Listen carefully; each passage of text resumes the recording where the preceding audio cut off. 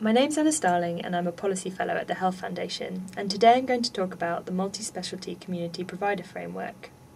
We all know that health services have to change to meet the challenges of an ageing population and more people living with long term conditions.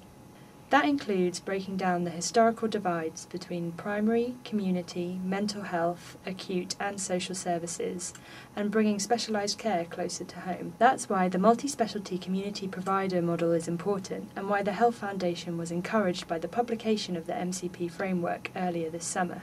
The framework does recognise, though, that an MCP can't simply be willed into being because of the complexity and scale of the changes required, and that's an important point.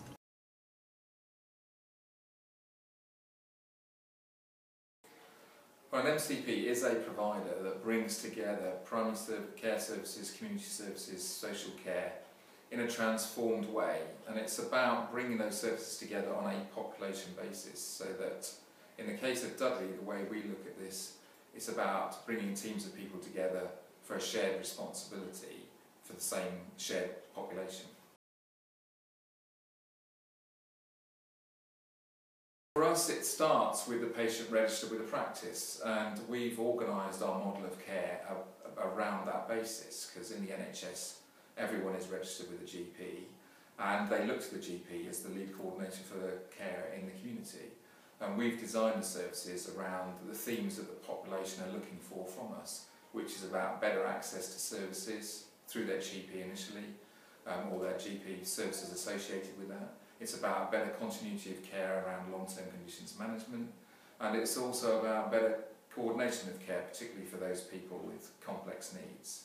And all of that starts with a patient registered with a practice, which is why we've developed an MCP model which has general practice at the heart of it.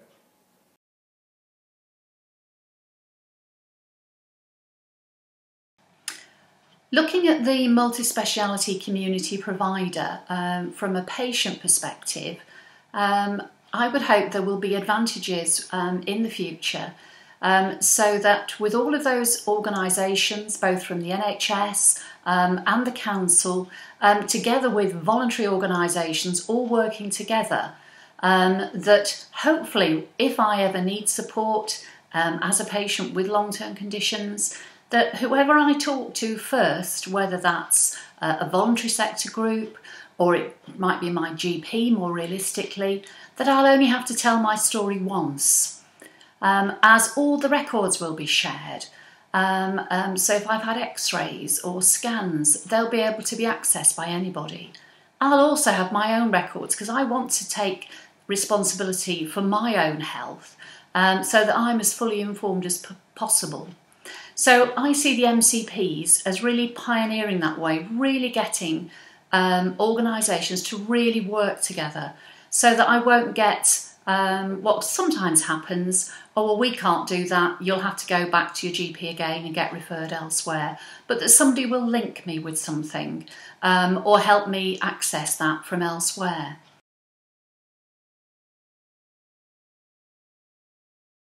The other thing that I think is different um, about the MCPs and the other vanguards is the desire to really work um, with patients, people in their communities um, at a very early stage, to have them help inform what is decided, what does get changed, how things work. Um, I know that um, as somebody with um, quite a lot of lived experience now of different conditions, um, that I see things differently as a patient. And I'd like to share what I see um, with the people who are designing um, or changing how things might be. So I think it's really important um, to engage your patients, public, and the communities you serve um, at the very earliest opportunity in a really meaningful way. And this is different to just ordinary consultation or ordinary um, engagement. Um, and I think whether you call it co design or co production, it really is the way to go because it really does make a difference. I do some work with the Coalition for Collaborative Care and sit on the People and Communities Board, where working obviously with the voluntary sector and in partnership with patients and the public is absolutely crucial and will help make those shifts, both for um, efficiencies um, so that things aren't provided which aren't necessary or duplicate, but also to get that quality right. Um, so that it's really about what matters to me in my life. Um, and to help that, um, there is a, a model that's been developed by the Coalition for Collaborative Care and the NHS, a very simple one side of A4, looking at the values and principles. So for any, whether that's a group, organisation, or for parents to or for patients to share as well, that can helpfully be a starting point. I would hope that in the future, um, all of the work that's being done will mean that there will be better quality of support, um, whether that's in organisations or from groups, and that it will be not only integrated but it will be coordinated as well, as well um, and really help me in what matters to me.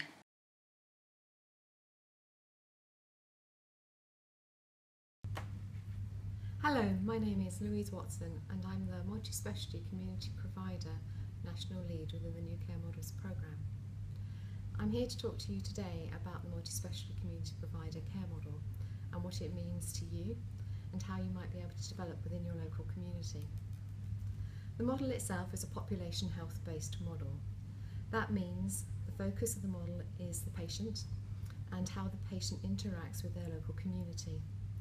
What I mean by that is that the whole model is focused on the neighbourhood and how the patient works, lives, and actually gains their health and social care provision within that neighbourhood.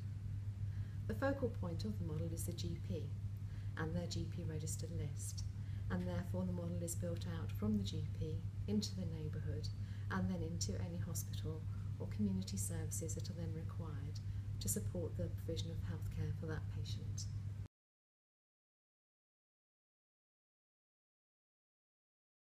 In terms of things that we have learned along the way in the 18 months that we have been working with the Vanguard sites and with the New Care Models programme, there are three, three things that I would like to point out to you.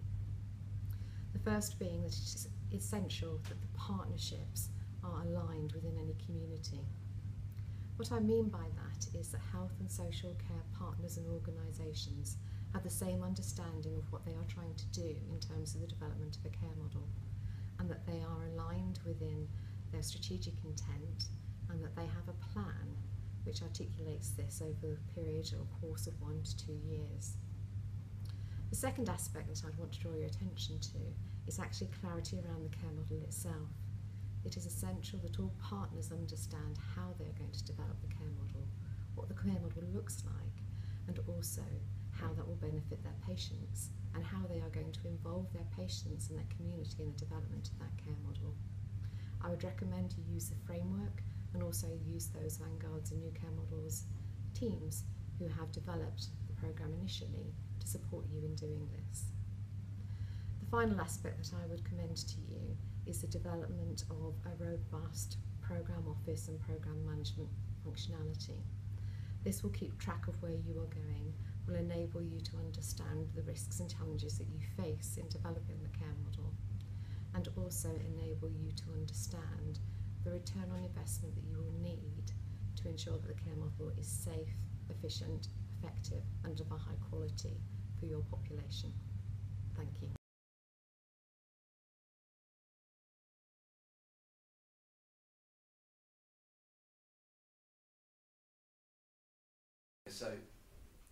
Is Michael Laurie. I'm uh, uh, an analyst in NHS England and I'm overseeing the evaluation of the New Care Models programme. So I've been asked to talk about what a logic model is to begin with. Um, well, a logic model, it comes from the field of program evaluation, policy and program evaluation. Uh, it's a, a, a, methodological tool um, that most evaluations will use. and the, the government recommends their use when one comes to um, evaluate uh, a piece of work you're doing. And logic models are based on the premise that at, at their heart, every every pro every program or policy or intervention is is, is a theory of change. It's a theory of, of doing things better or addressing a, a social challenge or a social, a, a social ill. And a, a logic model is a, an attempt to encapsulate this, um, this theory of change in, into, a, into a diagram, into a single uh, diagram. It links the, uh, the inputs to that program, so the resourcing or the, um, the skills that have maybe gone into it, with the activities that are being funded, what is the program actually doing? Is it a training program? Is it, uh, as, as with the new care models, is it trying to uh, bring in population health approaches um, with the, uh, the, the end benefit that those uh, programs deliver? So it links those three concepts together inside one diagram, um, uh, which then has a range of other uh, uses thereafter.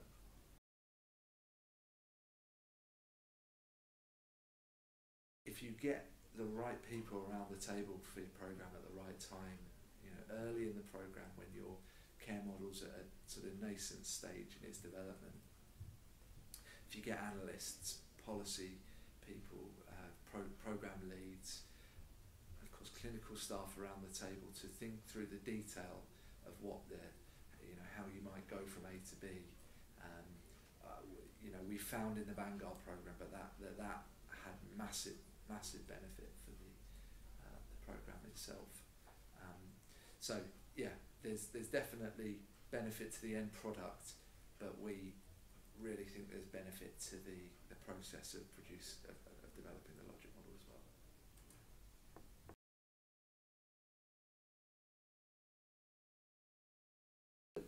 Okay, so where where can you go to produce one of these? Well, from the centre, from us, there are you know we've learned things about about producing logic models through the Vanguard program.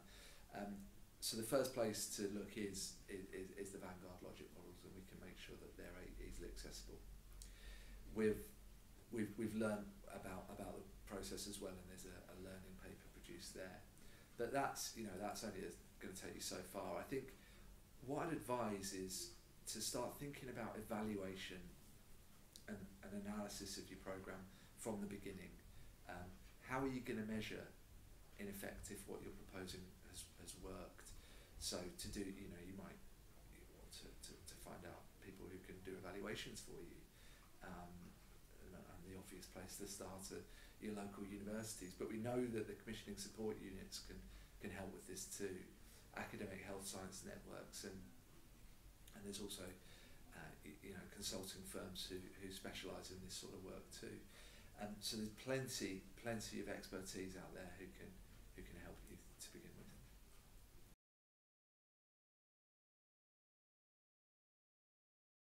Well, if you take a patient with uh, complex needs, uh, they don't uh, they don't want a siloed response. They want a response that deals with their whole needs. So in Dudley and in many MCPs, we've developed uh, multidisciplinary teams based in the community, which is coordinated by the GP, but includes a social worker, mental health worker, a district nurse, a pharmacist, also particularly impo important links to the voluntary sector. And what those teams do is they work as one for a shared group of patients to take a shared responsibility. And they, because they're working as one team, they're able to provide a holistic response that meets their whole needs as a person, again, rather than an individual siloed response.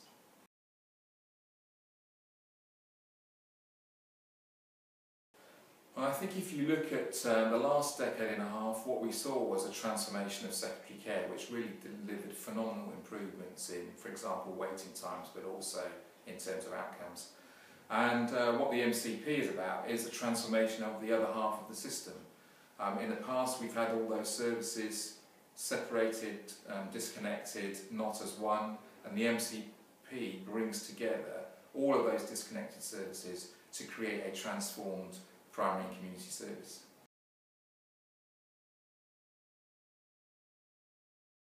Model is a population health based health and social care model. What we talk about within this model is four different aspects. The first aspect is the extensivist aspect of the model. This deals with the most high intensity users of health and care services, and we look at this through patient segmentation and through risk stratification. Um, it usually applies to about the top 2 or 3% of the population, and specific health and care services will be put in place for that individual related to their specific health and care needs.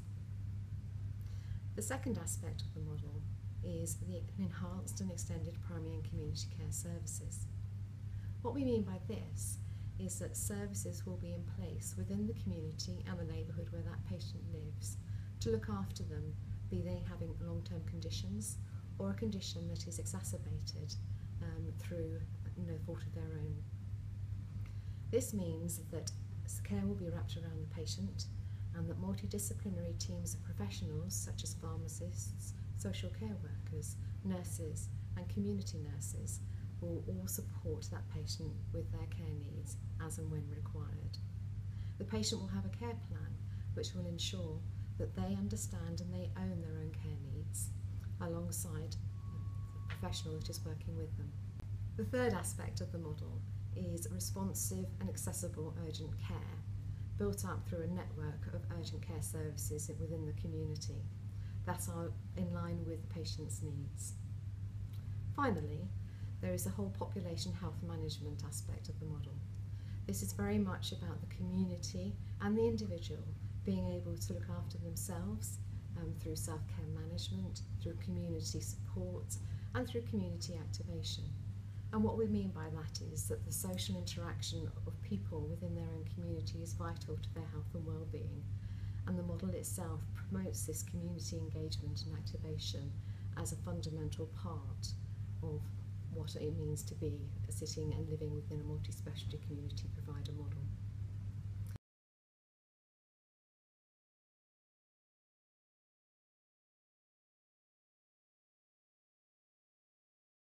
The multi-specialty community provider framework um, outlines the model of care, so the clinical model of care that we are talking about today.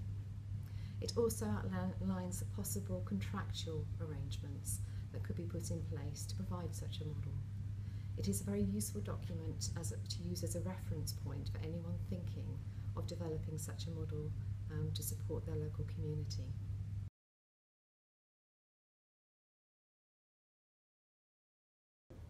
Uh, so my name is Ed Waller. I'm the head of the MCP contract development team in NHS England.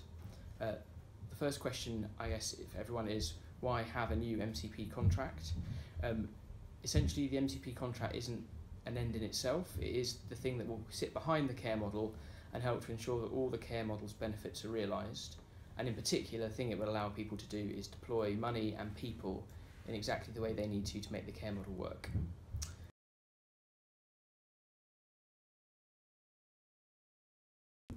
why does it have to be different from contracts that have gone before? So the MCP contract isn't a contract between uh, a commissioner and a individual GP practice or clinician. It is a contract between an organisation holding the contract to deliver the MCP care model and its commissioners. And that means that there are a number of different ways that GPs and other clinicians could relate to that MCP, uh, and I'll come to that in a minute.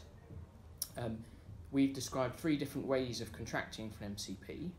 Um, one of those, an alliance model, allows existing providers to keep their contracts as they stand and overlays an alliance agreement over the top um, describing how the providers will work together to deliver the MCP care model.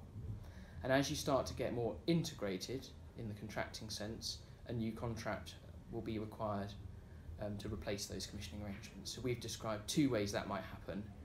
Uh, at one end of the spectrum, in fully integrated form, a new single contract that replaces all the commissioning arrangements with existing providers uh, and covers the whole purview of the MCP service scope, uh, including core primary care.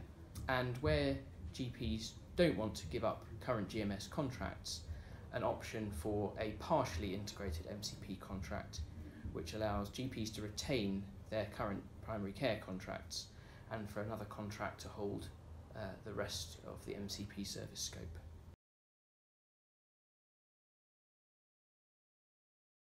Okay, cool. Okay.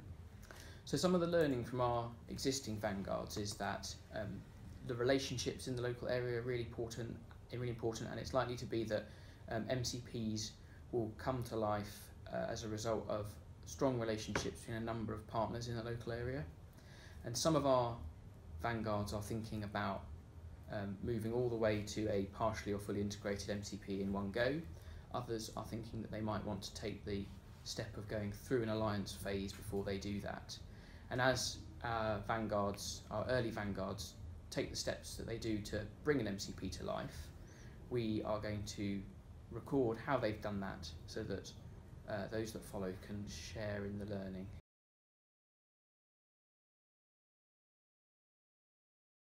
Uh, we have a national team who are here to help if you want to ask any questions about how procurement, commissioning and contracting will work in an MCP um, and we are happy for you to get in touch uh, if you'd like one of those discussions.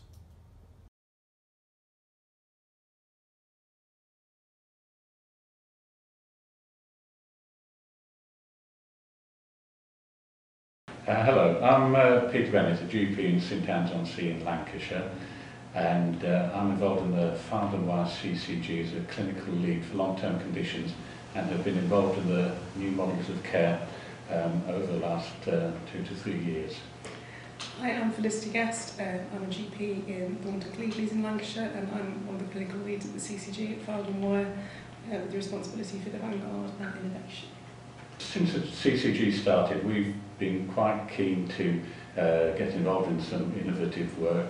Um, relying in many cases on our uh, GP population to um, really um, activate them and I think we realise that they are an undervalued resource and uh, from an early stage we were keen to get them involved in the CCG, uh, in the Council of Members.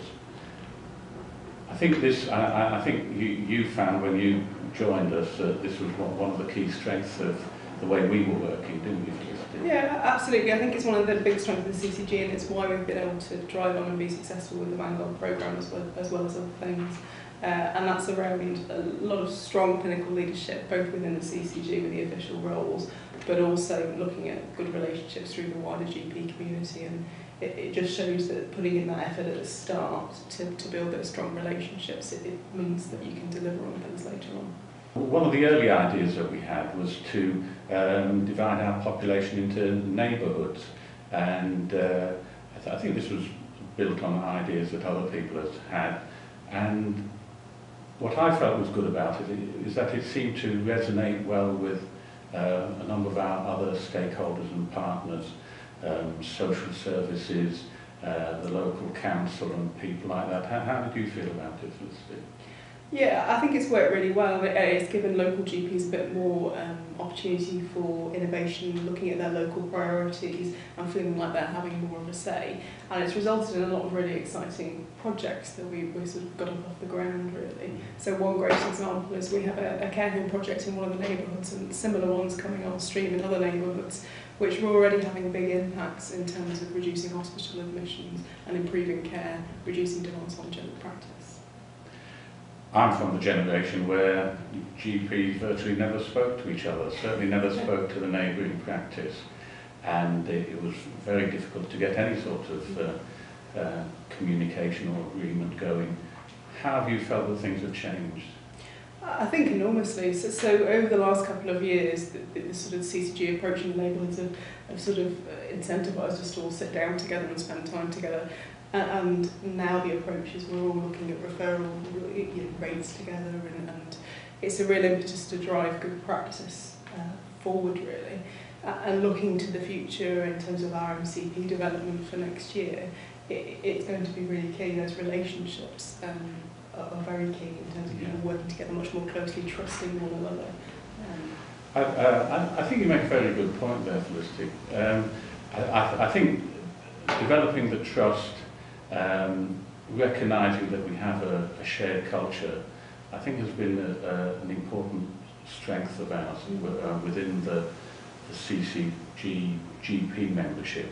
I think it's also uh, helped us to develop relationships uh, with, with other stakeholders. Um, uh, I mean, my, my view is, is that there are sort of people in social services, in the local councils, in the housing, in the police force, who can understand what we're trying to do if we go out there and sort of uh, sell it to them. And, and, and they've been very keen to come on board. But it's been important to get that trust and culture early um, before getting too involved in organisational forms.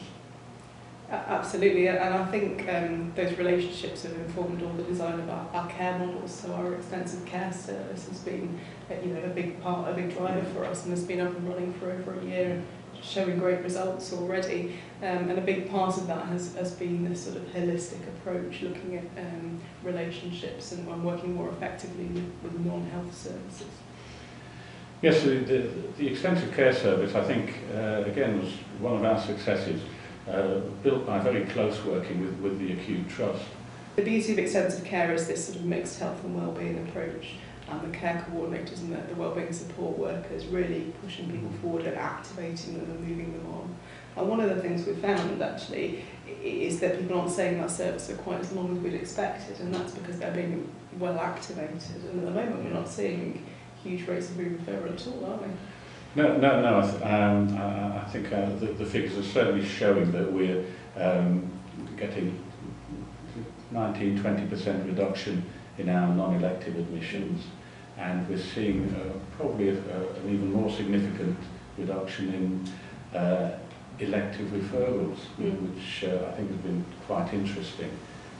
Many of us can talk the talk about a holistic approach, and working together in MDTs and so forth. But actually organising it mm. um, can be more of a challenge than, than, we, than we may think.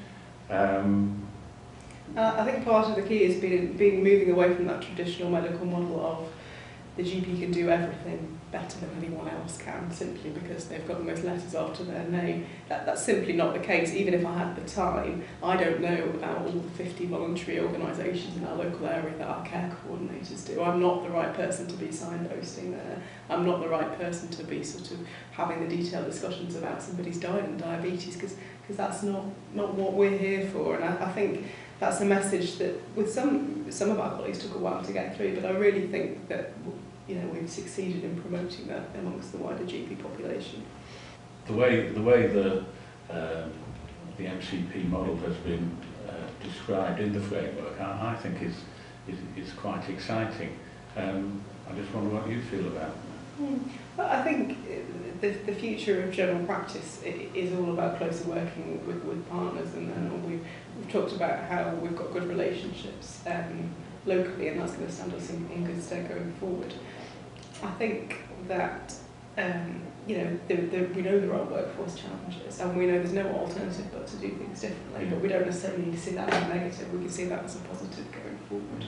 And I think that's what the MCP allows us to do, to have a strong community care and primary care voice in delivering services and in designing services in the future and working um, sort of more collaboratively, collaboratively with provider colleagues. So, so at the moment we're in silos, aren't we? Yeah. Um, but the idea of you know working with the community trust, for example, designing you know working together uh, without all these sort of gaps and communication problems that we have at the moment. I think the MCP is really the vehicle for yeah. driving that forward.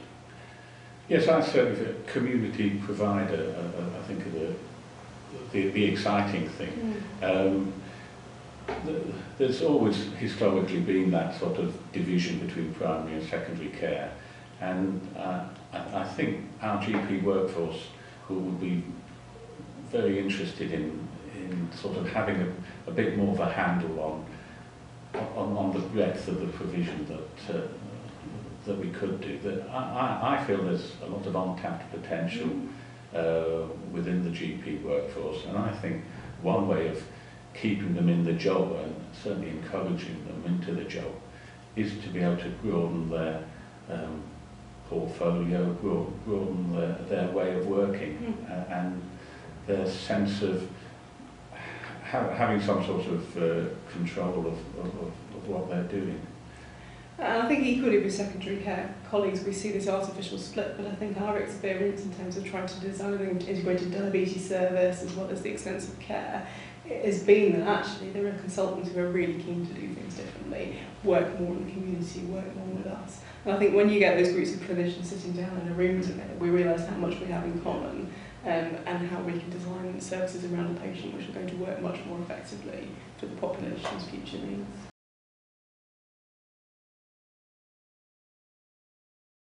To succeed, it is essential that teams are supported to build their improvement and learning skills. It will also require creating cultures of learning that allow staff to challenge assumptions and innovate. This is something we've seen in the improvement projects the Health Foundation sponsors around the country.